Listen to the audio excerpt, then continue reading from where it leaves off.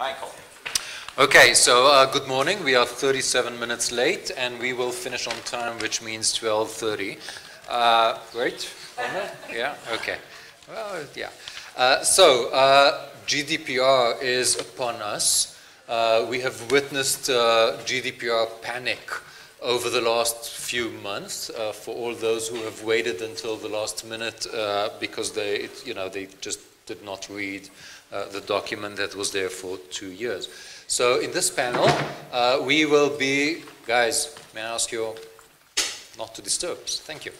Uh, uh, in this panel, we will be trying to figure out some of uh, the mysteries of the GDPR and its coverage and its scope, and we will be doing so with the three panelists uh, that are here.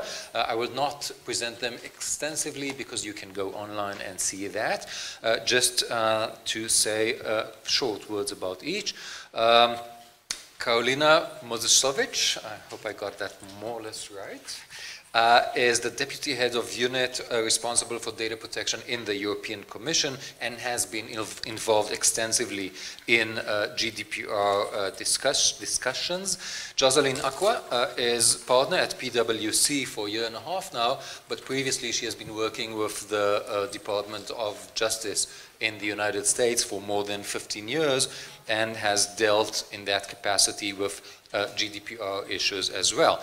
Uh, and Cameron Kerry is former general counsel of uh, the Department of Commerce in the United States. And in that capacity, uh, Cameron has uh, more or less authored uh, the Consumer Privacy Bill of Rights under the Obama administration, right? so it's a great panel.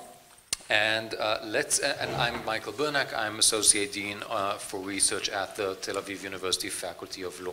So uh, in order to make some sense of what is going on, we can differentiate, I think, and it might be helpful, between the company level, the national level, and the EU and global sort of levels, and figure out what's going on there. And in order for us to get started, here are three quick uh, scenarios, and I'd love to hear your short uh, comments on those, and then we will continue. Scenario number one.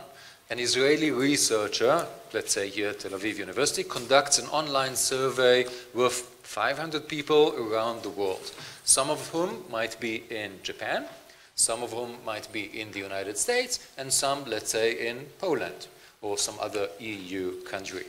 Uh, and let's add to that that the research has received the IRB uh, approval. Second scenario. Uh, Israeli Ministry of Tourism ran a campaign uh, to encourage Europeans to hop over to Tel Aviv earlier this month to participate in the Pride events, which drew over 250,000 people. Part of the campaign included a landing page online in which uh, anybody, Europeans included, were encouraged to leave their contacts uh, for, for, future uh, information. And the third scenario, a typical one, an Israeli startup, let's say just a startup, a small one the, for the time being, developing a product or service that will assist companies in uh, complying with various regulations. This is uh, law tech or legal tech, uh, maybe even including compliance with the GDPR. And this company has clients all over the world, companies and individuals, including in the EU. So scenario one is the researcher, scenario two is the government, and the third one is of the startup. Jocelyn, let's begin with you. What do you recommend?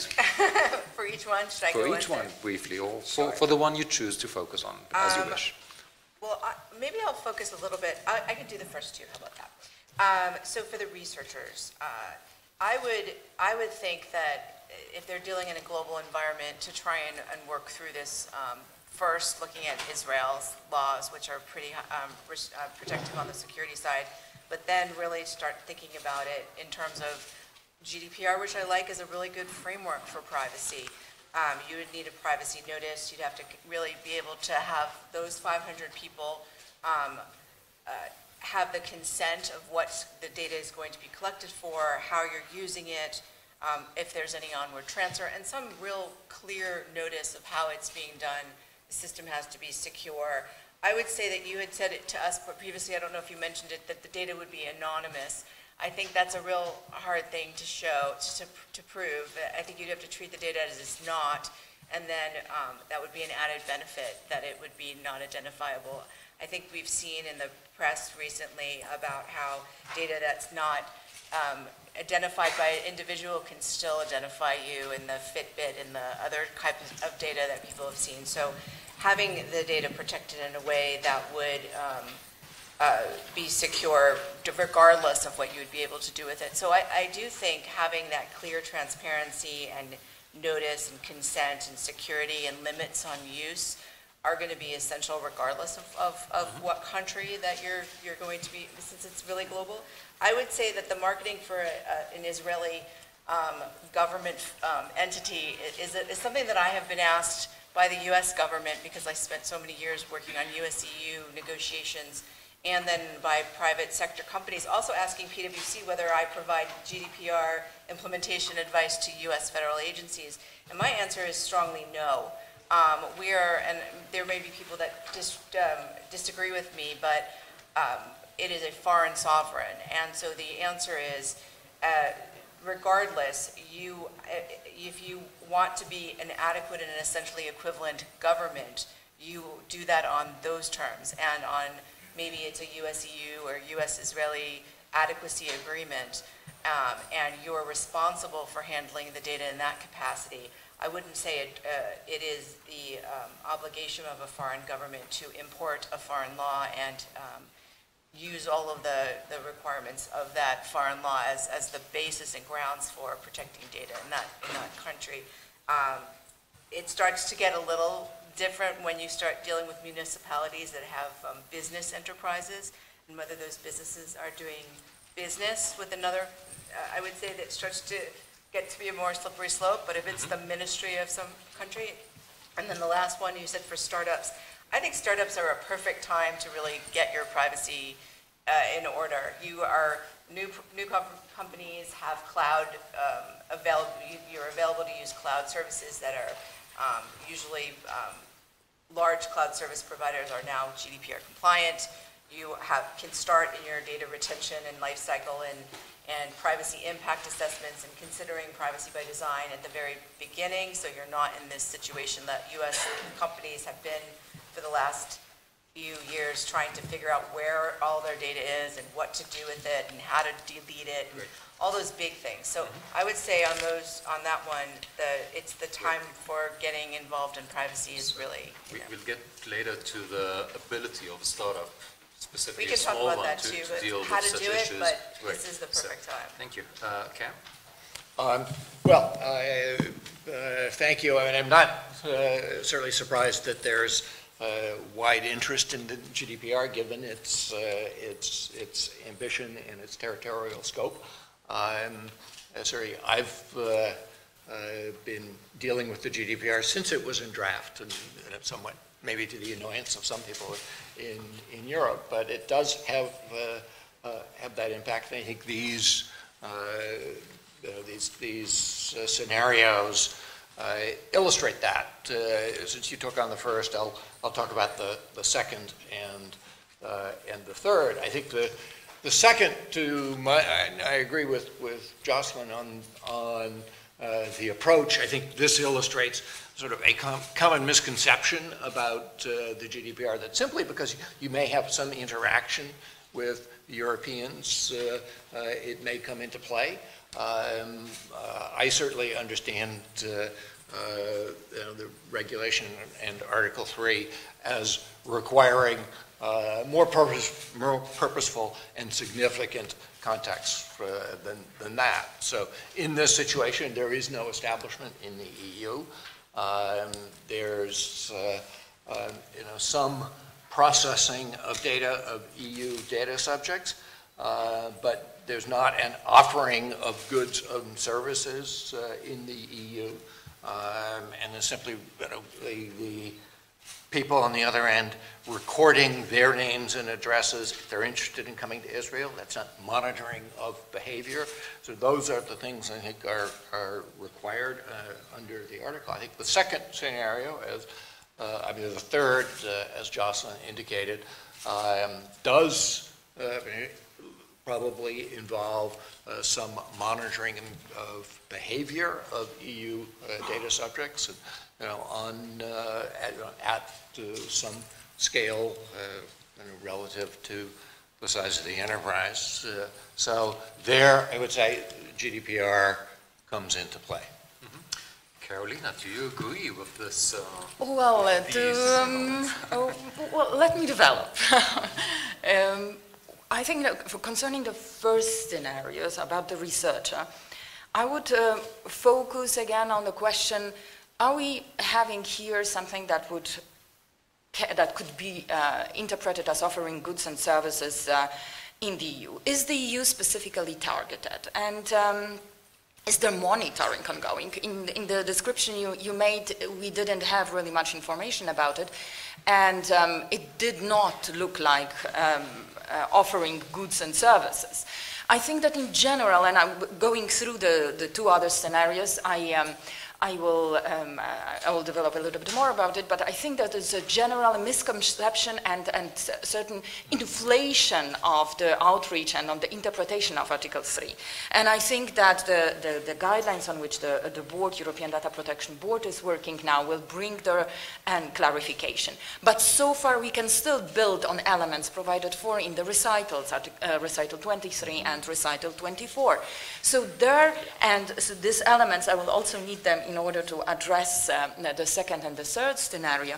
There, the elements like mere accessibility is not enough. Yeah, it needs to be so one element. Mere accessibility not enough. Second, it needs to be apparent that the controller, so the organization, is envisaging offering goods or services to data subjects in the union. And uh, so we have here this EU consumer first facing element. This is very important. By monitoring is monitoring the behavior of data subjects in the union. It's uh, tracking when and then subsequent use of the data. Therefore, with this research, first of all, I'm a little bit less uh, uh, reluctant to accept claims about anonymous data. I think that it can be done. There are means to do it. And in the moment we have an anonymous data, of course, up to the standards and everything. And let's not say, let's not forget, again, recitals are very, uh, very instructive in this, um, in this respect. There needs to be so the, the, the, the, the means which need to be employed in order to assess whether the data is anonymous needs to be reasonable. So uh, it's, it's uh, uh, reasonably likely to identify. So it does not go to this completely absolute impossibility, of course, in the light of, uh, of accountability principle, always the check if in view of the devel- uh, development of the technologies, it would need to be assessed whether the development of the technology does not nullify this anonymous, uh, uh, uh, uh, the process of anonymization. But in the moment there is an anonymous data, we are completely outside of the GDPR altogether. The second example, again, um, I, I would like to, so I would start to analyze in this offer, I mean, is it an offer? Is it? Is it a mere, mere accessibility? Were there some packages in there offered? Was there some, uh, you know, indication there will be discounts if you are going through our page now and you will land on the page of the hotels? Um, there would need to be something a little bit more of, of, of, uh, uh, of targeting, a little bit more of uh, this uh, apparent to envisage uh, to offer goods and services to data subjects.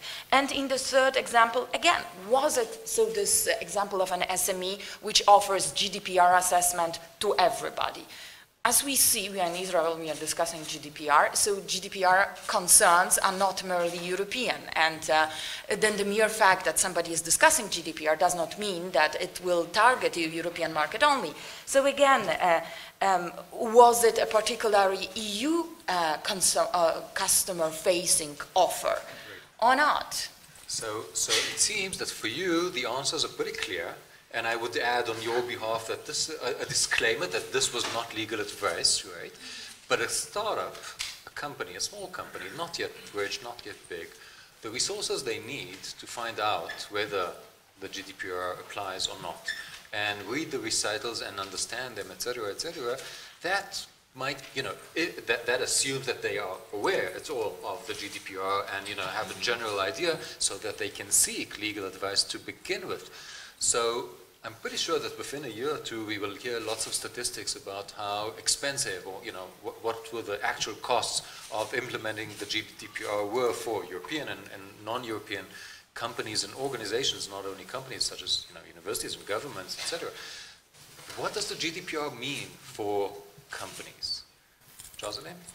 Well, so, just to go back to, again, to what we've been discussing, for Yeah. instance, the researchers, and, and there are 500 people, these are smaller entities, smaller requests, and it's very difficult for them to have like the legal knowledge and background to really parse through the articles of, of the GDPR. Or when you're thinking in a global environment where you're um, sending out um, survey re- requests or- uh, globally, or you're, or you're marketing globally to people in a way that you could get um, people from all over the world, what kind of the standards do you use um, practically, and what does it affect? And the reason why I am a fan of GDPR is that it, I think it sets a framework um, to, to, uh, of, of security. It it focuses more on data protection and, and, and data use than as much on data security, but I think if you're focused on Israel, Israel has the security requirements in place as well, that it's something to give a company where it really doesn't know where to start a framework.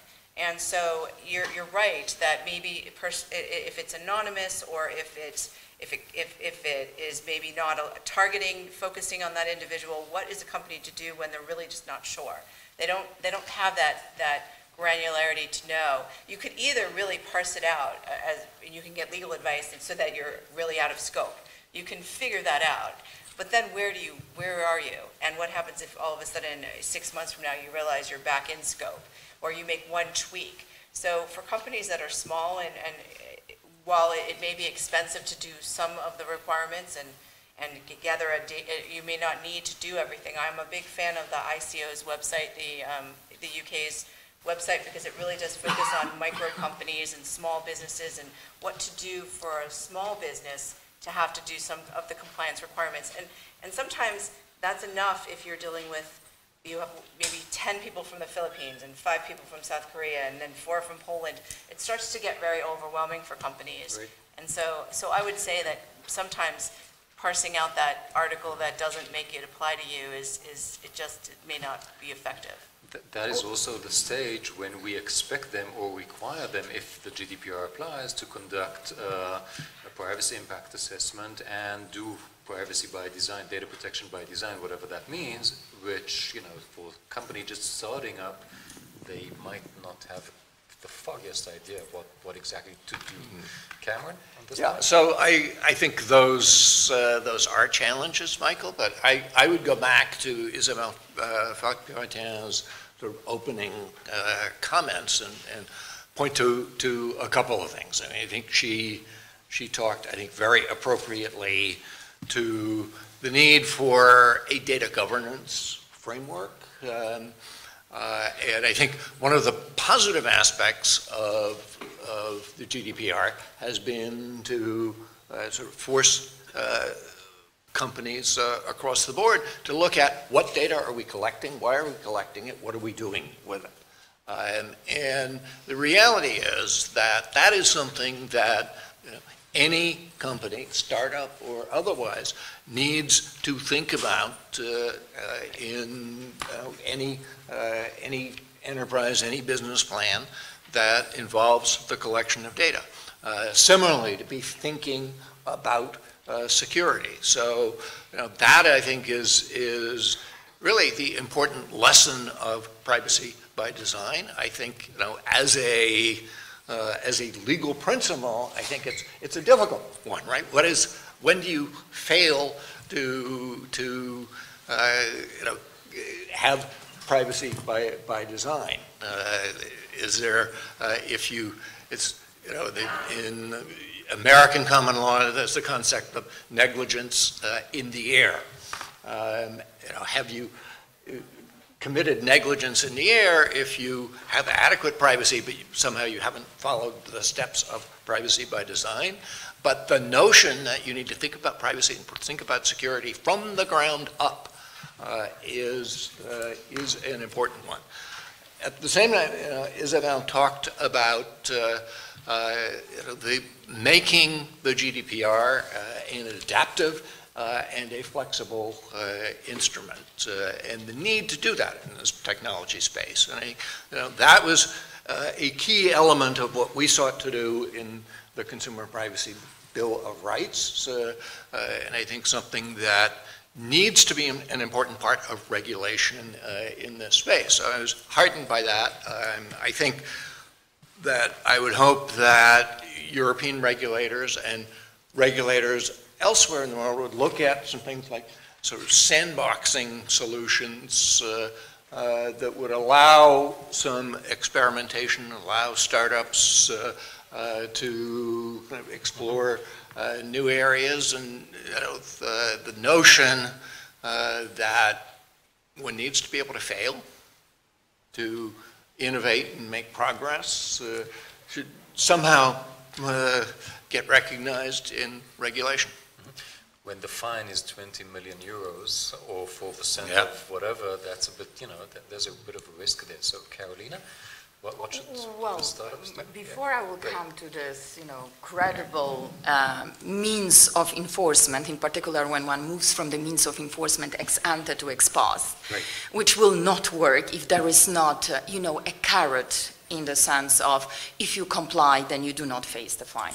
But I would like to mention some other things, building on what was said uh, also in the morning. So indeed, I mean, the regulation is based, a part of the principle, this uh, data protection by design and by default, on the principle of risk-based approach. This is all done so that we can maintain technological neutrality. So in, we are moving from this, uh, uh, we moved already, from this environment of everything very much controlled, authorized, notified, to more freedom with a self-assessment that comes with consequences. And they need to be because we cannot have people free riding on non-compliance. Yeah? It needs the compliance, somebody who is compliant and somebody who invested in compliance cannot not have an advantage of it uh, in comparison to somebody who did not do the whole work and the investment. So, from this technological neutrality and all the means, the tools the regulation provides for, like data protection impact assessment, like records, it all helps companies to map, to manage the data they have, to organize themselves also in order to be able to answer to all the requests and to, to, to enable us um, the possibility to exercise our rights. How somebody will be able to respond to my access request if somebody, if this organization just does not know when they have the data and if the data is still uh, somewhere else.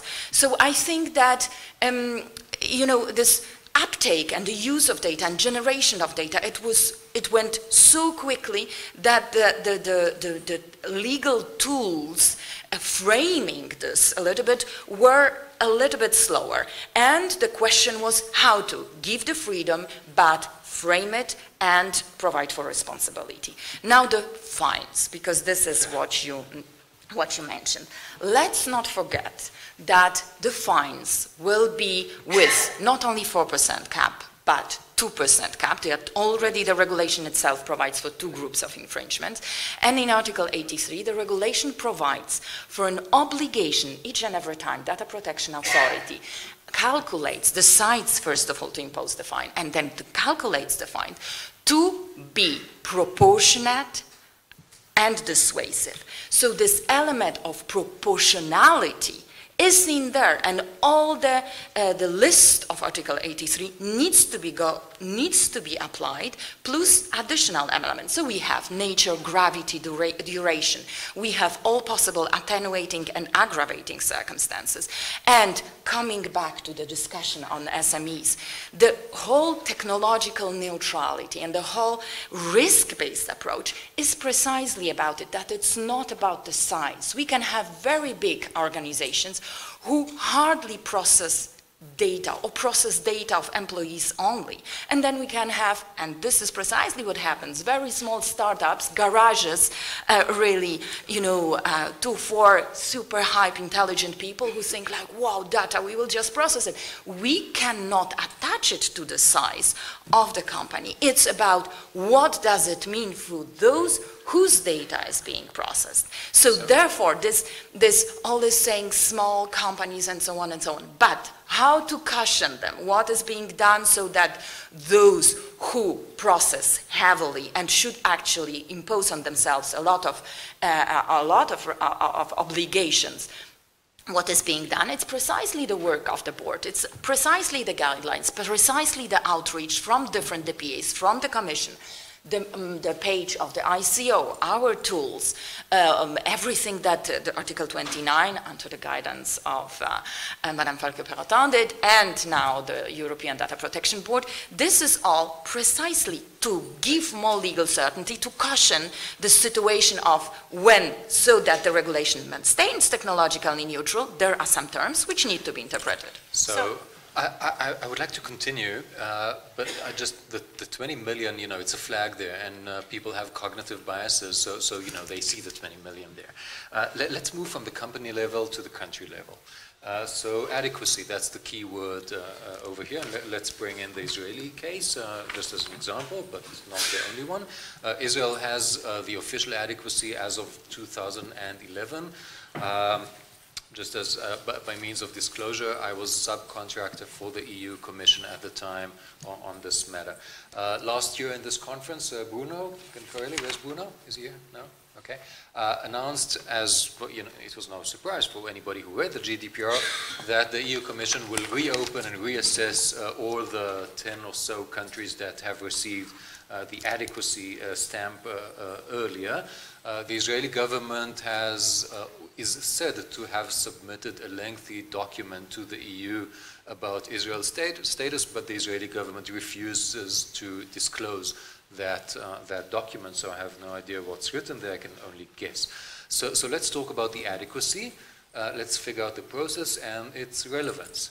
So Cameron, can you first please walk us through briefly kind of, you know, the process and what does that mean? Sure. Um, well, the, the GDPR uh, sort of uh, sustains uh, the principle that transfers to uh, third countries, countries outside the EU, are uh, not permitted unless uh, those are adequate, those countries are found adequate, or unless certain mechanisms and safeguards are, are in place.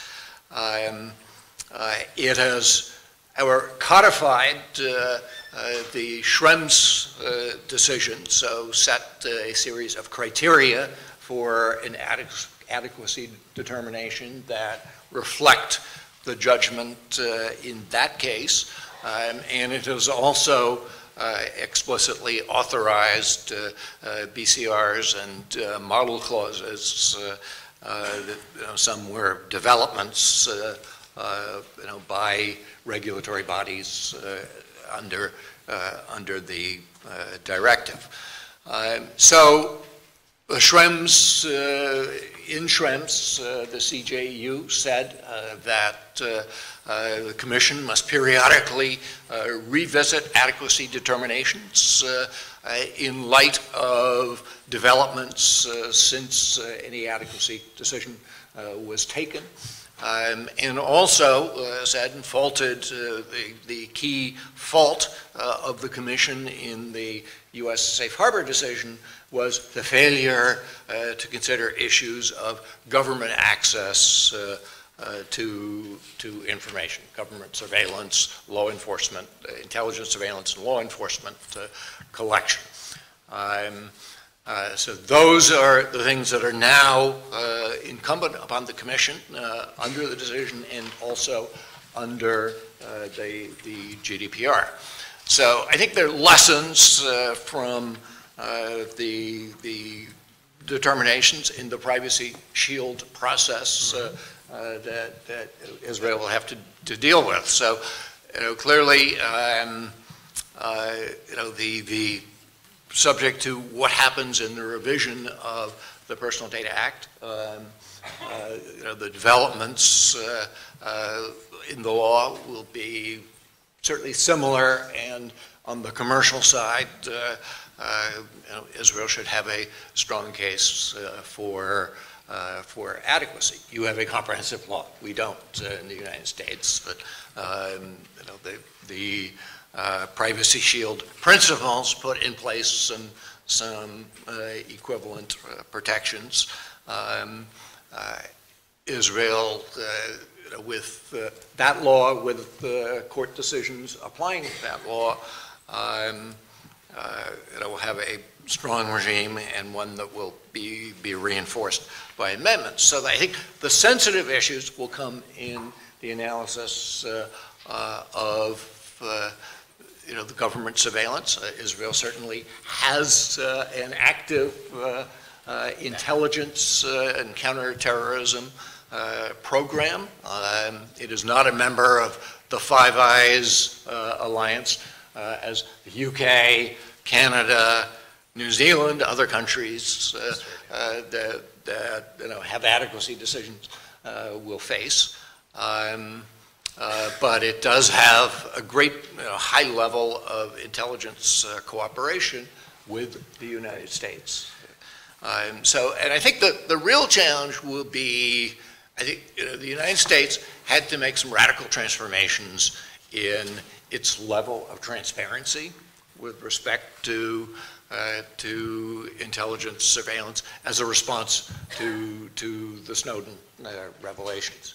Um, And that has sort of set a new bar. Um, So I think for privacy advocates, uh, uh, for regulators to sort of push uh, that out, that was certainly one of the challenges in the United States uh, uh, in the Privacy Shield process, was to sort of get uh, an active discussion by our intelligence uh, community, Jocelyn uh, uh, and the general counsel of the, the, uh, the intelligence uh, uh, coordinator in the United States, met on numerous times with members of the Article 29 Working Party.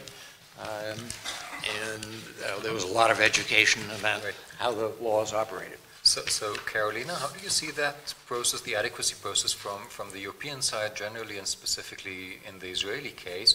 Uh, because, you know, if you read the Israeli Privacy Protection Act, which has not been amended since 2007, although there are data security regulations, uh, it's clearly incompatible with the GDPR in many aspects as it is now.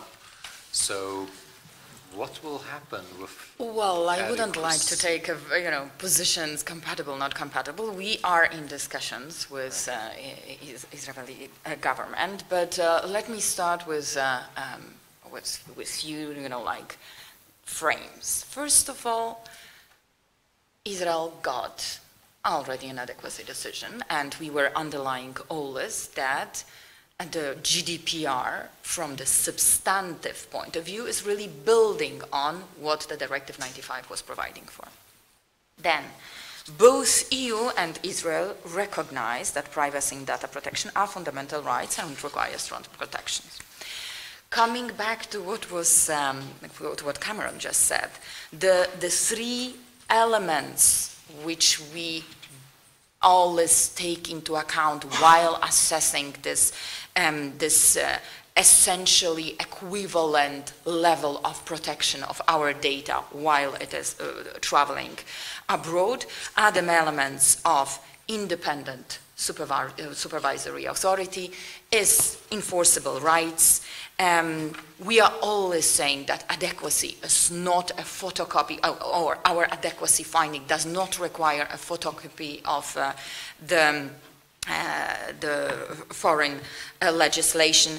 As it was uh, uh, seen in the Privacy Shield, um, also um, countries which do not have an um, omnibus uh, um, act which, uh, which encompasses all the uh, data protection uh, aspects, but where the system is much more fragmented, was found uh, equivalent by us.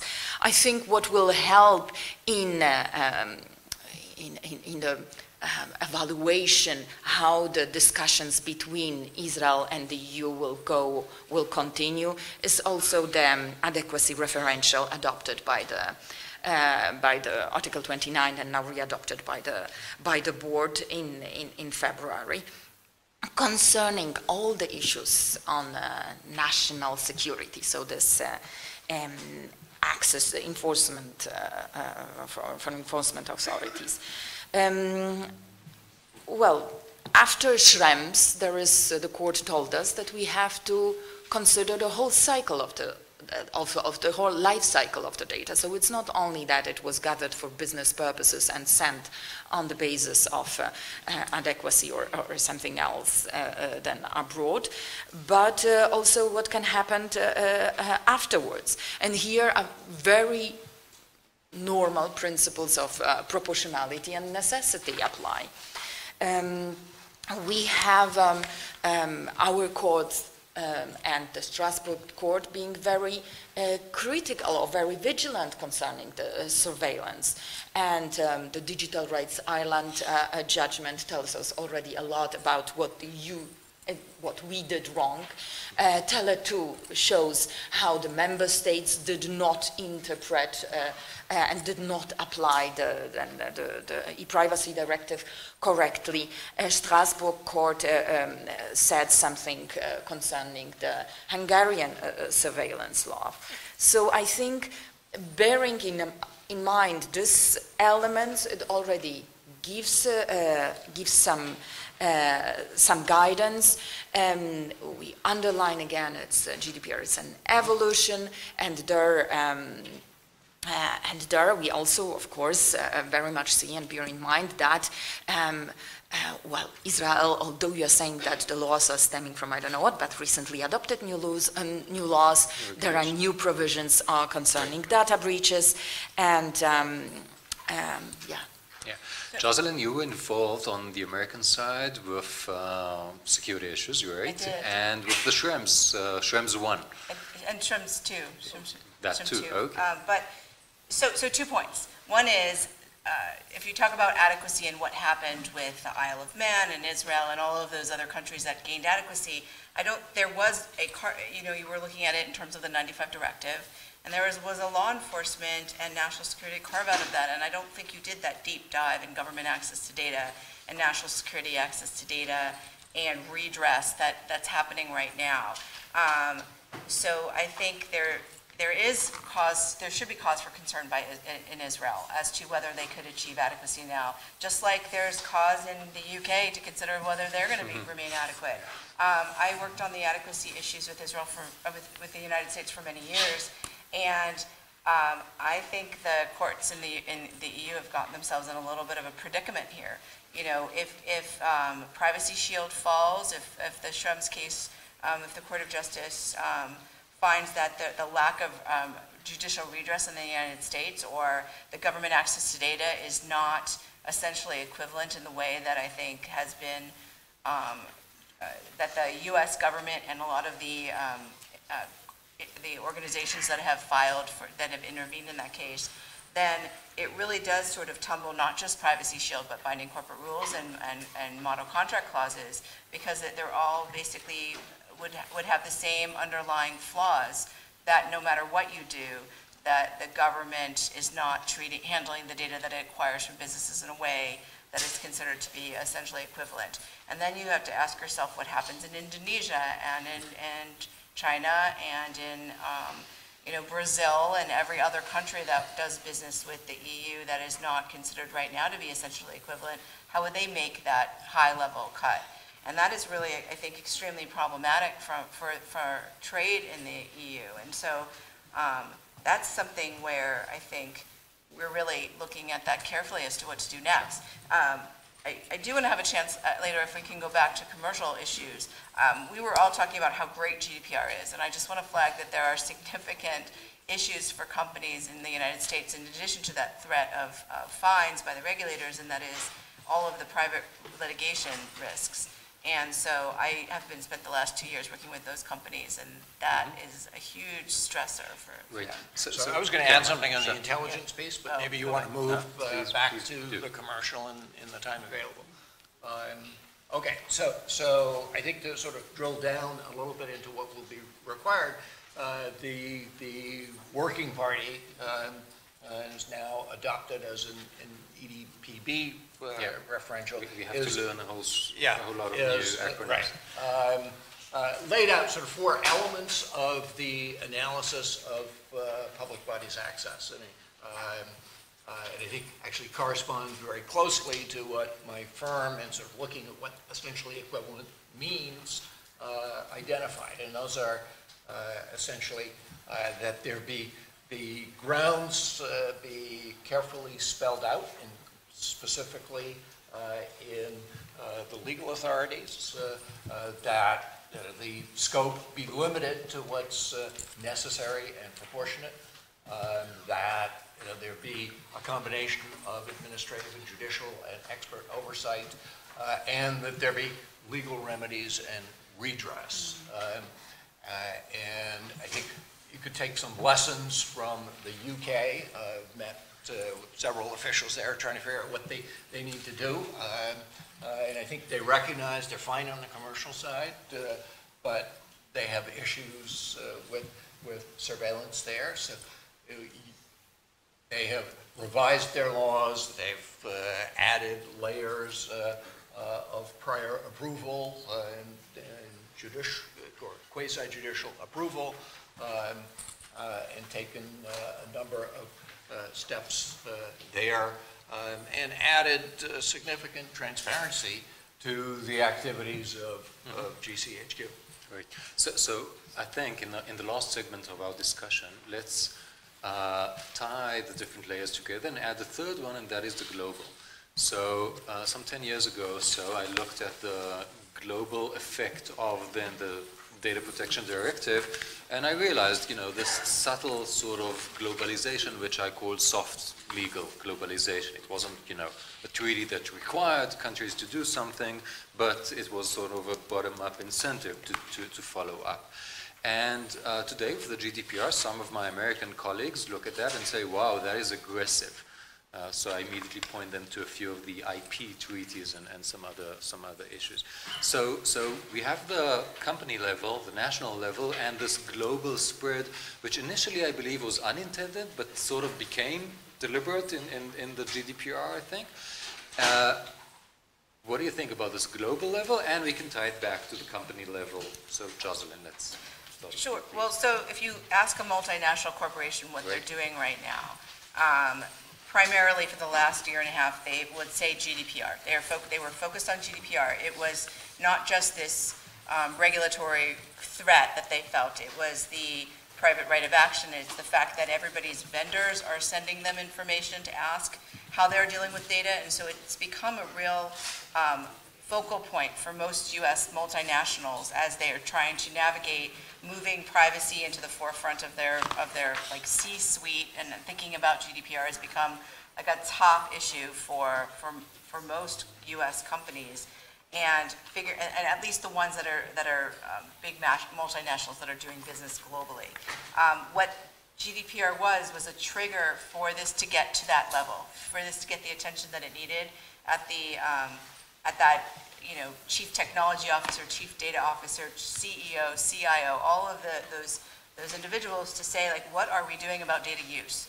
Um, and, and it re- did restructure many companies on moving privacy by design and, and, and really having, um, an, a, um, inter-company, um, level discussion of what we're doing with data in the company. Where is it? How are we using it? How are we securing it?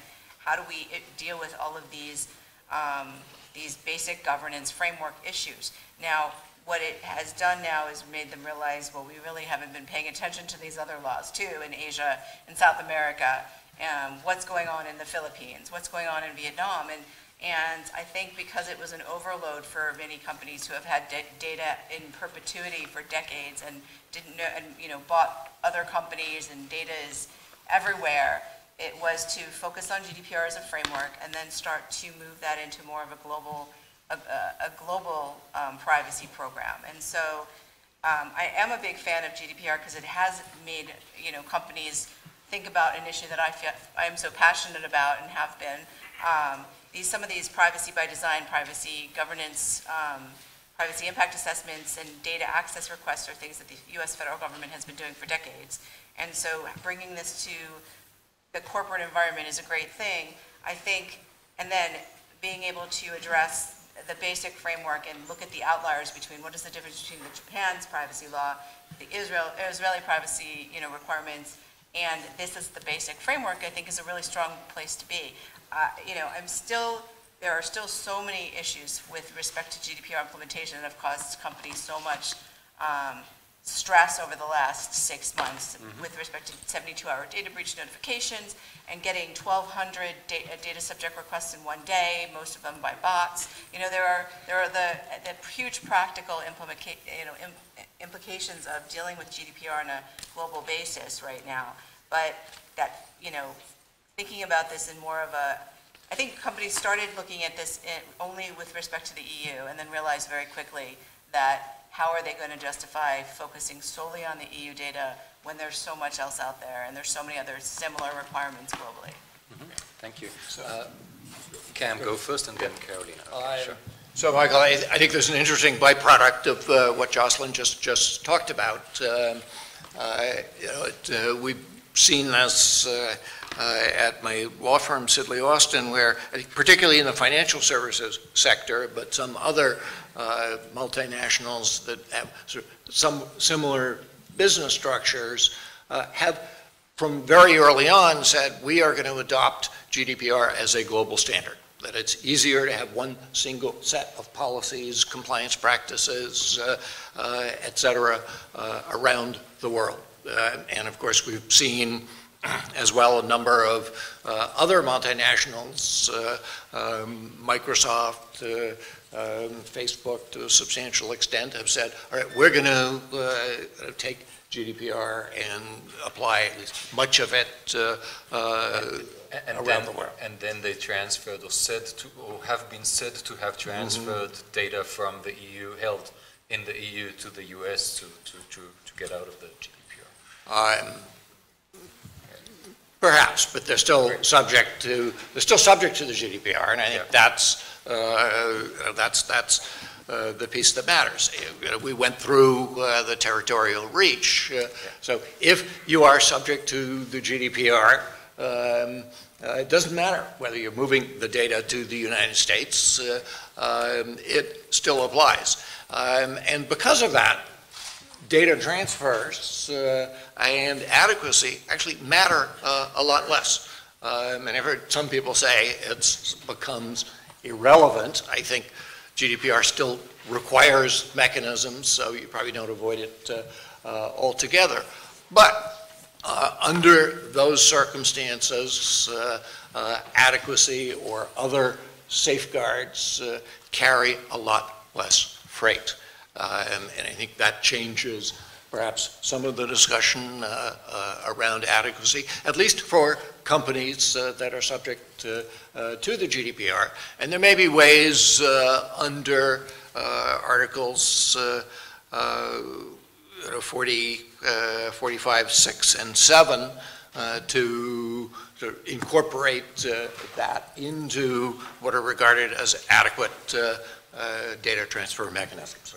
So the final words uh, in our session, uh, Karolina, you, you, the EU is running the show, so it's appropriate. Um, well, we are very happy about it, should it be the case, which um, I We don't want trust to. okay. Well, um, just let me, before I, uh, I come on, adequacy does not, uh, does matter uh, less. I, think it goes together with this miscomprehension about what is actually the reach of the GDPR and which companies are subject to GDPR. So I think having clarified that, uh, it will show that adequacy still does matter. Yeah, and that adequacy is a very, uh, it's a very, because one thing is what happens with the data uh, of our EU citizens within the EU, and then another thing is what happens when our data goes outside, which is mainly with the, or, the mean of, uh, of um, adequacy decision is the most secure one. So um, I think we, um, uh, I think that by clarifying the territorial reach and the, uh, of the GDPR, we will get there a little bit more of clarification. But um, what I wanted uh, to underline, we all see that the issues are global. We have seen it with Cambridge Analytica, Facebook. We have seen it with Uber. And I think, therefore, there is uh, a- a move and global response to it. The sensitivity is getting, uh, is getting bigger. Therefore, there are 120 um, countries around the world that uh, have now privacy laws, um, that uh, therefore uh, many more are moving towards having them. And I think here about Chile, about Brazil, and um, and therefore, also the element or accompanying with with uh, by adequacy decisions, the free, trade agreements starts to be now so important. It's what we see in our negotiations with Japan, when this is the biggest uh, free trade ag- agreement which was uh, negotiated so far, and why is it so necessary? We do not include data in free trade agreements because it's a fundamental uh, right and so on. But therefore, the need and the development of the negotiations with, uh, with Japan, which hopefully will um, end before the summer, for, in order to be able to adopt uh, double adequacy decisions, the adequacy for, a decision from us to Japan and from Japan to us. Let's not forget EU uh, uh, uh, global standard and so on. EU is the biggest exporter of data in the world. Yeah? We are the biggest exporter of data in the world. Therefore, our the protection we want to, to, to give to, to this data uh, and needs to travel with our data obviously will have impact on all those who want to offer goods and services to our 250 million uh, um, as citizens. Now, um, there are a lot, if you allow me, Mike, there is a lot of discussion about us being very aggressive, imperialistic. It's not about this.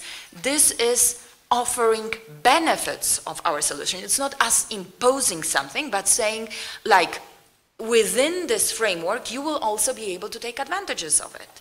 And um, and therefore, um, uh, this, uh, uh, from, from our point of view, um, th- this is uh, uh, uh, really not, uh, uh, well, uh, this is not appropriate to speak about, uh, uh, uh, to frame this discussion in, in, in, this, uh, in these terms. On this happy note, our time is over. So uh, please join me in thanking our panelists.